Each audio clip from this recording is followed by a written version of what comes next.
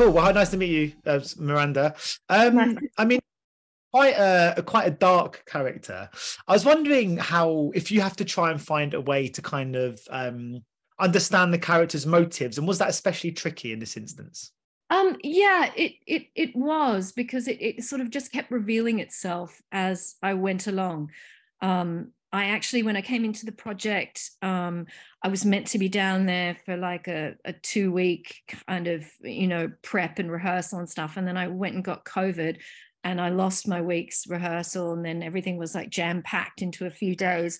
And so a lot of it was sort of like, you know, even though I've done a lot of research before I came, a lot of developing the character, like on my feet, was really done on set, on camera. so, um, it was interesting to go along how when I started, I thought that she would be, you know, quite cold, but then we discovered along the way that, you know, it needed um, it needed warmth in it as well, that like how to kind of lure people in and how to make people feel special.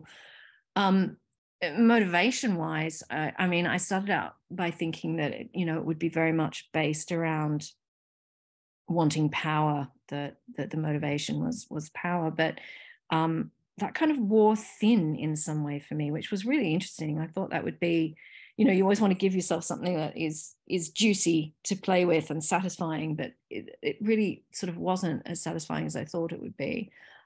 Mm. um and so over time it kind of morphed and changed and and uh, i found that it was more about there were moments where I felt that like she was so kind of dead inside that like that that in her life the, the, the pieces that put you together when you're a child that make you connect with other people and empathize and all those things that those pieces never got put there or she never had them.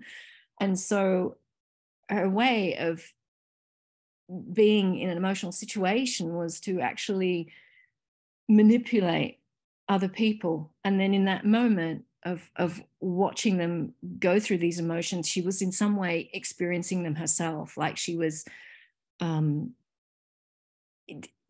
like an emotional vampire like eating up their their trauma and their their emotions in some way that that sort of filled her up in some way. And that was in the end the most kind of uh, the the thing that kind of um, what's the word just like worked for me hmm.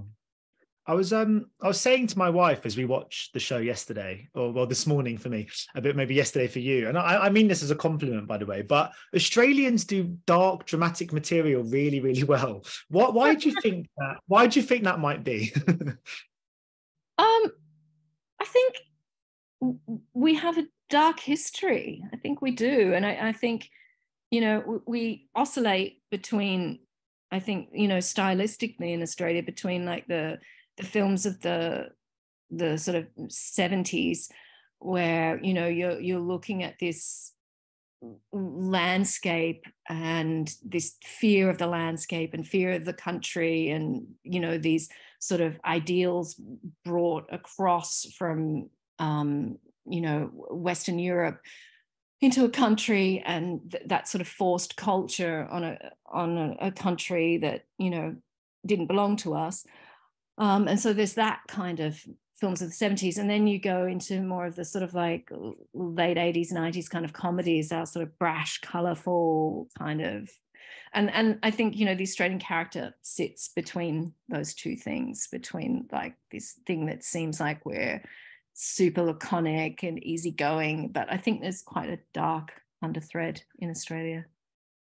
Uh, but, but sort of conversely, I watched the Neighbours finale when it aired. Not oh, quite as dark.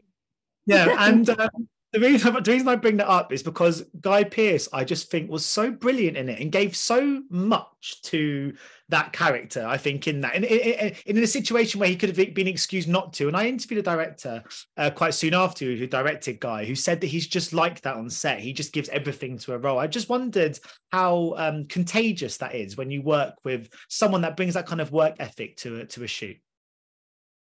Yeah, like he he really delves deep um, mm. guy. He really comes with a really strong idea of what he wants to do. and you know he when he came in as bryce he was very complete in that performance and that was great to work from but he's also just a very he's a very quiet and understated person but he's someone behind the scenes who really keeps in contact with people and helps people out in in ways that you wouldn't have expected and um yeah he's a, he's a very lovely person yeah, we call him a good egg, I think, over here. Yeah. But um, yeah, how was it being directed by your sister on this occasion? I mean, you already ah. obviously have that built trust, so does that that must make the world of difference, I imagine. Yeah, it does, and it it was really wonderful you know like she has directed my husband she's directed my dad she's directed my daughter but we'd never worked together um, so it was lovely to get to the chance to work on this and i'm just so proud of everything that she's achieved you know she's really going great guns and mm. it was it was a great shorthand actually because also Jeffrey who Walker who set up the show it was the fourth time that I worked with him as well. So you know I kind of it just gives you great comfort to be working with people. You know when you've got to get through a lot in a day and you know the some of it's quite tricky it's great to be working with people who you know the way they work you know what they want you know that they won't move on until they've got it. And with Gracie, you know, we were able to talk a lot on weekends and stuff about what she was wanting, what she was thinking in the shots, how she was going to organize the day, what, you know, there was a lot of prep work that we were able to achieve so that when we came on set, we were, um, you know, able to be super prepared. And I knew what, you know, she was going to be wanting and all of that, which was, was great. And, you know, she has such a, um, uh, a great style to her too in the in the way that she shoots things. Hmm. Are you sisters on set, or do you almost have to take on a new dynamic as kind of director and actor? Um, no, I think we're more like you know, like Gracie technically is my half sister, so we didn't actually grow up in house together, but you know, I was around a lot in her childhood and stuff. So, I yeah, we're more like uh, she's totally the director and you know whatever she's going to tell me to do i'm going to do absolutely but i think we're still like sisters on set have you ever kind of considered stepping behind the lens and doing stuff in a in a kind of in a different capacity i suppose um, I would have said once upon a time, you know, that my favorite department to be in if I wasn't acting would have been art department. I love the art department, everything they do. I'm I'm always like like fascinated by the, the the costumes and sets and all that. Like I love that department. Um, but over the years, I thought, oh, maybe I, I would never be a writer. writing is incredibly difficult, and I just don't have that gift. Um, but yeah, it would be interesting to direct something but there's so many questions people want to know so much from you like you have to you have to everyone comes to you and says what about this or that what do you need for this that would be the hardest part yeah, it's one of those roles where you can't really get away with saying I don't know. you no, not at all. You can't pass it on to anybody else. But someone who likes the art department, God, Lord of the Rings must have been a great experience for you, oh, getting oh, yeah. to kind of yeah that all the kind of meticulous detail that kind of went into the the background yeah there. absolutely you know and also you know when i was working on chilling adventures of sabrina i loved all the art department stuff i i just love all that stuff like the, the when people really put in that detail I, I mm. loved all the costumes and and sets on this like uh, it's a big thing for me on a production to look at some dailies very early on just to get a vision of the the world that we're in because i feel like often that does so much already it sort of it means there's certain things that i should do less of as an actor because so much is being said by the way that it's being filmed and by the the the look of it you know the the look for Adrienne in this is is such a strong look and the kids and like it's just aesthetically it's it's quite an amazing looking production well, I'm still sort of getting used to seeing the, the Disney logo next to shows like this of this nature because obviously it didn't now with Disney Plus. It's sort of it's lending and giving a home now to it's much a big sort of umbrella. Yeah. um, yeah. But as as an actor, is it quite an exciting time because there's so many platforms and so much content? And as an audience member, it feels like there's more to see and more to watch. So for, for yourself, speaking from within the industry, does it feel like there's more kind of opportunities and roles out there than than there ever has been? I suppose. Yeah, definitely. And I, I think what's been so wonderful since i mean since really like cable rose up first of all and now streaming but there's been a sense of um, since you know it hasn't been just network tv like it used to be there's a sense of going into more niche areas and finding the universality through a niche kind of story.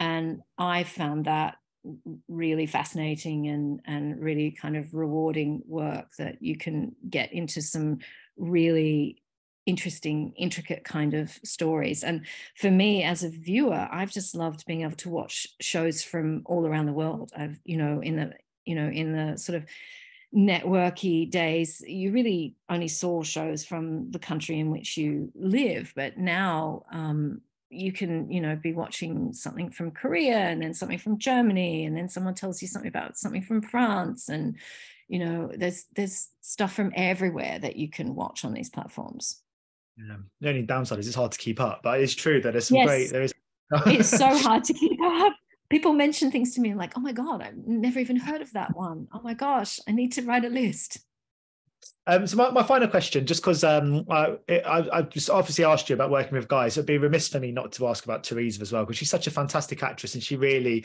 carries such a complex character in a sense. I just wondered about collaborating with her and what she brings to that to that very tricky role.